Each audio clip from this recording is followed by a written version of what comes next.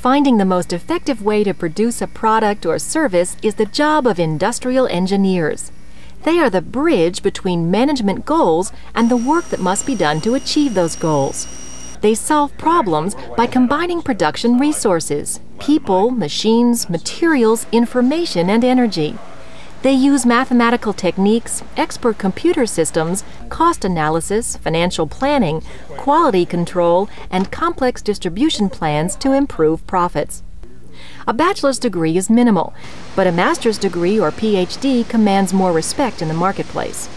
Students who are good at problem solving, mathematics, computer applications, science and systems analysis may want to pursue this career.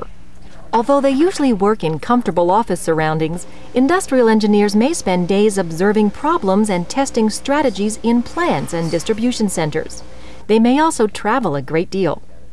Experienced industrial engineers who successfully pursue opportunities in management science can rise to upper levels of strategic planning and management.